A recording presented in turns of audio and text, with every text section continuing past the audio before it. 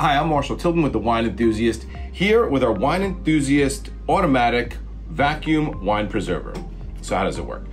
These wine preservers are great. They pull the air out of the bottle, so you can pour your glass of your favorite wine. Here we have a nice Cru Oakville Cab. Mm. And it is drinking well.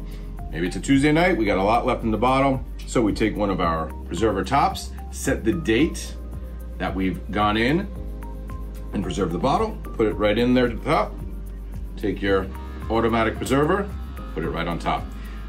That noise is the air coming out of the bottle. And the more wine that has been consumed, the longer it may take to hear that beeping sound, which means that that wine is now being preserved and will stay fresh for at least a week or so. How do you know it's being preserved properly? Well, listen.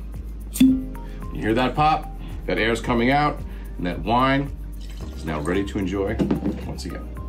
Cheers.